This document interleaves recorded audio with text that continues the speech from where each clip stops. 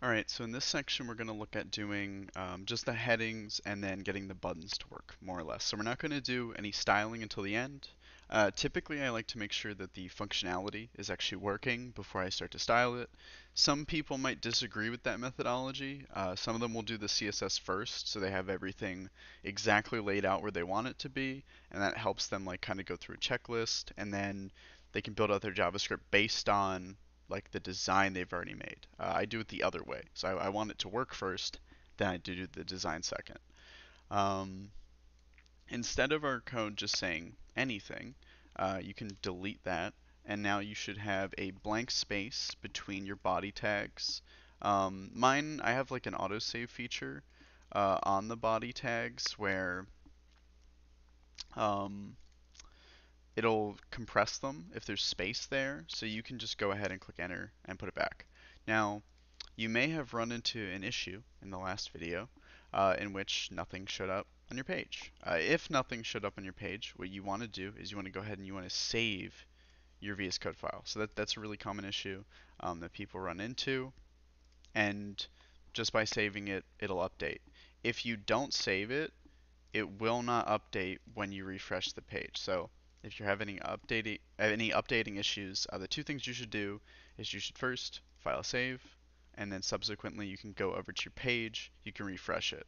Uh, if that doesn't work, you can just exit out of the page entirely and then uh, go back to it, which I have to find where even where I put it. Uh, here it is. And then you can just open it back up on the website that you're using or the browser you're using of your choice, and then it should be here. So I don't have anything on the page, it's completely blank, it's white, but that's a pretty common issue you might run into. Uh, regardless, we're going to go back to having uh, both the body tags open with nothing in them, and then we're going to type uh, h1. So again, we have we have two tags here, and these are h1 tags. h1 stands for heading 1. Uh, this goes from 1 to 6, so that means there's heading 2, heading 3, heading 4, heading 5, and heading 6. And it's important that you remember that both the opening and the closing tag need to be exactly the same. So they both have to have h1 in it, otherwise it won't work. Um, in between this h1, you're going to type a word of some kind. So we're going to have like a heading. We'll do wood first because that's going to be the first uh, like value that we have our first resource, I guess. So we'll have wood.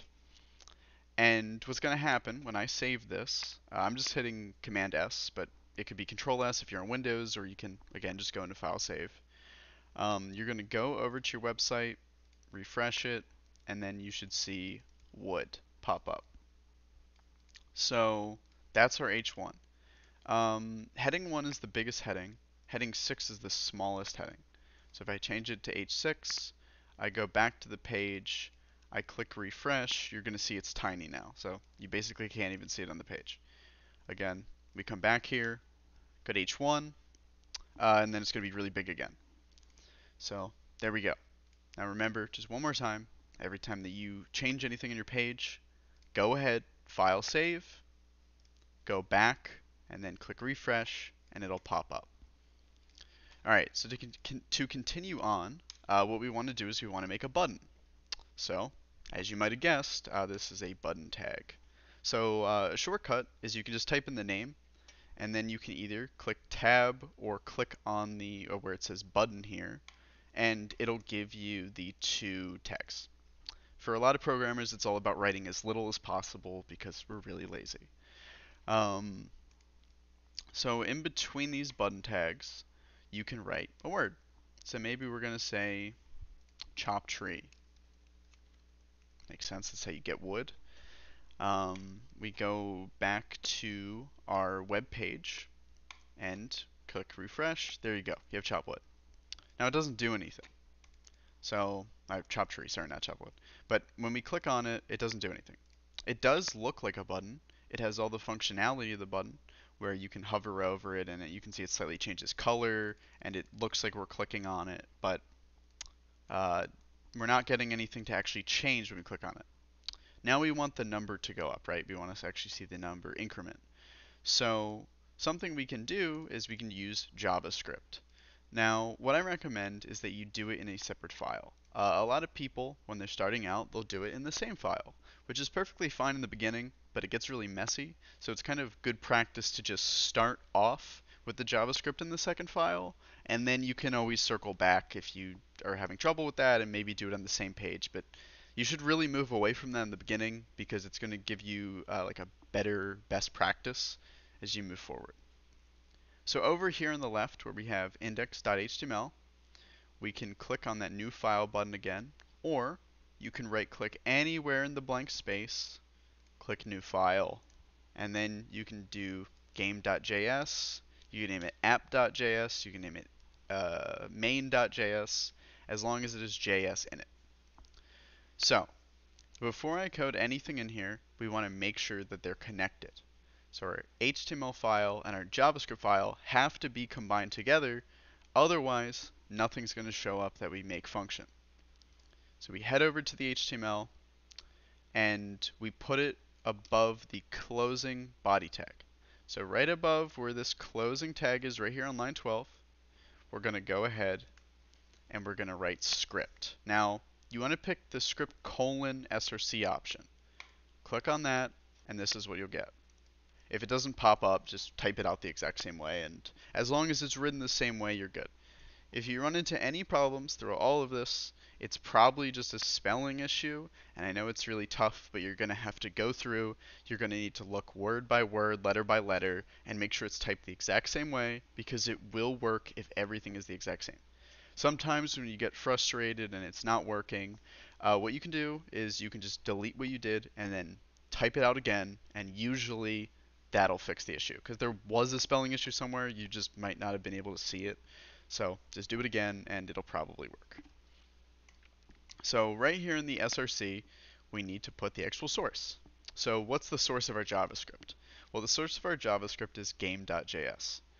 So we can come over here and put game.js in, and then that's it. Uh, it's linked. So something we can do to test this is console.log. So go over to your game.js file, which you should be able to do on the top here, or on the left side, you should be able to toggle between the two. Uh, type in console.log, followed by two parentheses, and then two quotes. Inside of these quotes, um, we can type the word test in. And then test is going to give us pretty much everything we need to know to be able to test out our actual code.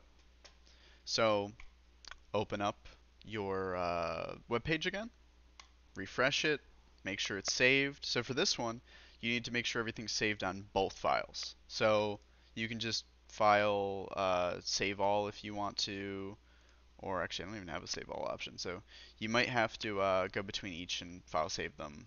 Mine's not unlocked because I don't think either of them needs to be saved, but you should be able to click it if it's that way. Regardless, open up your page, and here is where some fun happens. So you're going to want to right click anywhere on the web page.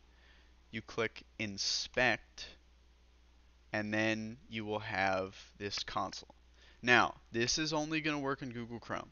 There's other ways to inspect on Firefox. There's other ways to inspect on Safari. I'm not going to go into those right now. Uh, I recommend that you just use Google Chrome if you can't figure out how to, or honestly, just use like look it up on Stack Overflow, and they'll give you the answer. Um, once you have this open, this is called the Chrome DevTools, uh, you're going to look to the top right here. It says Element, Console, Sources. It might not show up because it might be really condensed. So you just want to uh, take this little arrow here and drag it out till you can see everything. Or you can click on the two uh, greater than signs and then you'll be able to see console. So console is the one you're looking for. Click on console and you'll see test. So that's what we wrote right here. console.log test. So what we're doing is we're logging the word test to the console. And the console is just the JavaScript console. This is what like our JavaScript runs in to make it work on the page. So once we're done with that, you can exit out of it. It's connected. Uh, if that doesn't work, what you want to do is check right here. Make sure the spelling is the same. Make sure you have a semicolon at the end. Make sure you have your quotes. Make sure it's all the same. If that doesn't work, check your script. Usually it might not have been linked properly. Those are going to be the two most common issues. So that's about it for linking them together. And then in the next one, we're going to work on actually getting the button to function. So thanks and have a good rest of your day.